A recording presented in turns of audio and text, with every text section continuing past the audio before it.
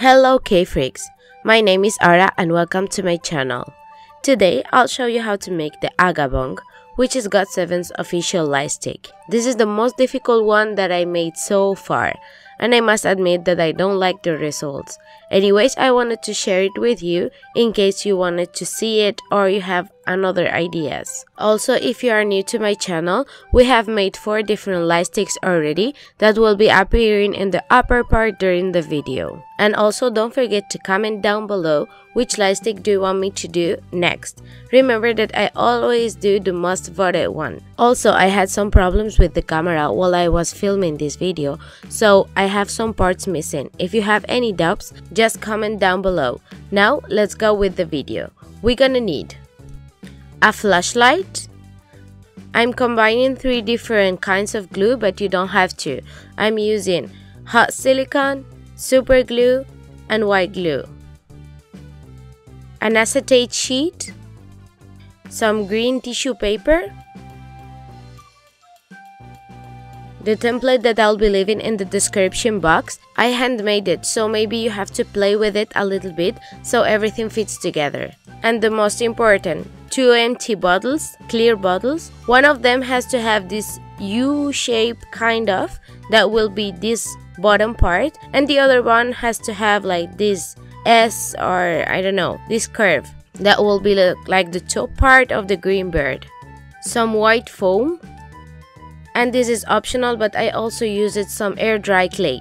So starting with the air dry clay, I started to shape the flashlight in the hand shape of the light stick. The hand shape of the light stick is very smooth and has a very particular shape.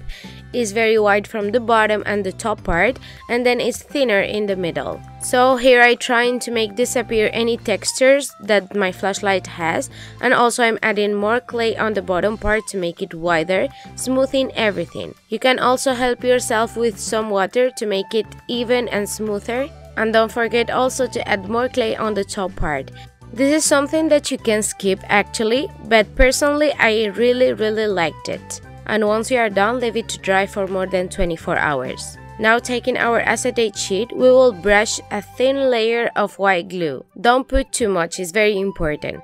And then I'm placing the tissue paper carefully. Be very careful because the tissue paper breaks easily, very easily. So try to not to have any wrinkles and leave it to dry for some hours.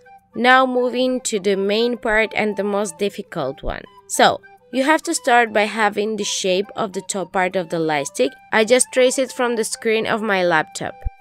So, you have to start taking the bottle with the U shape and placing it on top of your template.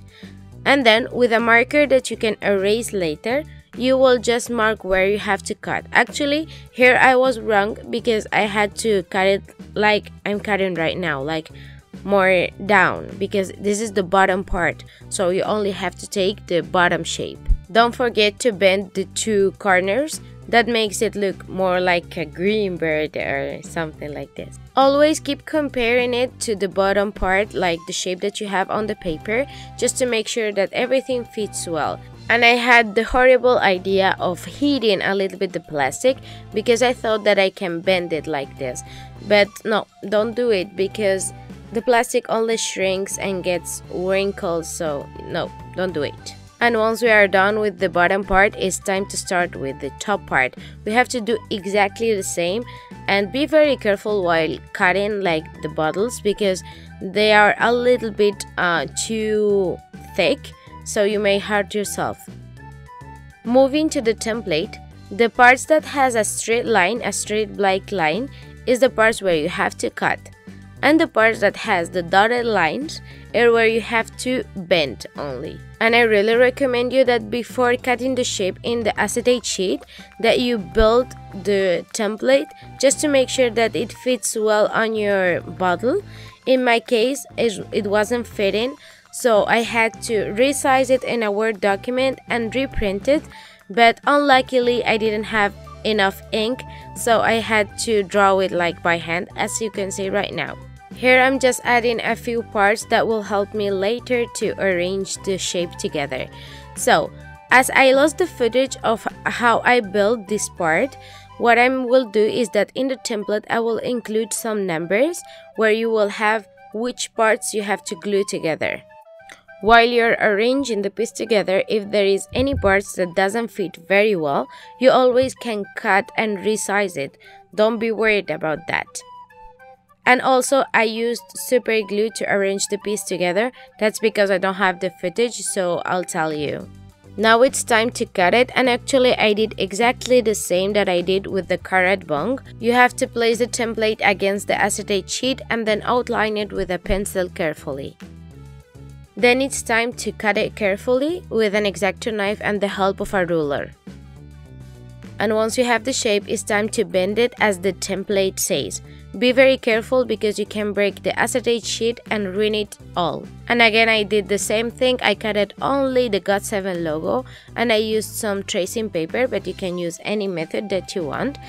So I put it the logo against, this time I used a white cardboard and then I outlined it like all the shape and once I had it I cut it, very very carefully. I really recommend you to use an X-Acto with the GOT7's logo because it has the stars and some very small details.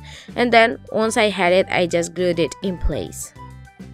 I also decided to glue a small circle of the green acetate to the flashlight just to make sure that the light will be enough green and I used super glue for it.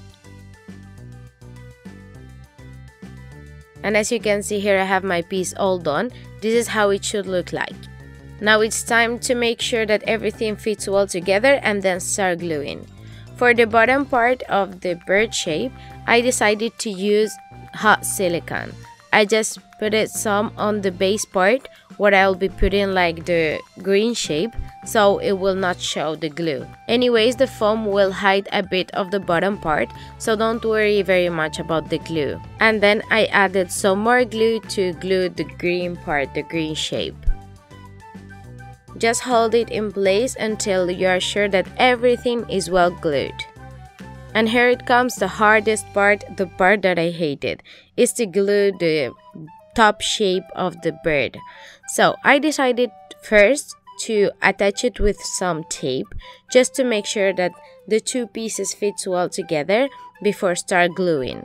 And I used super glue to glue like this just between the two pieces and then hold it for a, a year almost because it wasn't drying at all and then I just waited. It's it's very tedious. I have to admit this part was awful. I recommend you to leave just a little space where the, the two pieces can meet together so it will be easier for you to glue them together. And I did the same thing with the whole shape. So I used a straightener but you can use an iron and I used it to heat up a little bit the foam and then hold it against the hand part of the light stick. If you saw the Carat bong video, you may know already that if you heat the foam and then you put it against something, it holds the shape.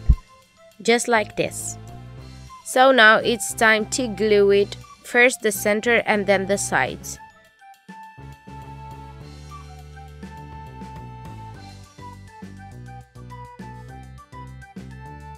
Remember that you can always reheat the foam and reshape it in case you need it.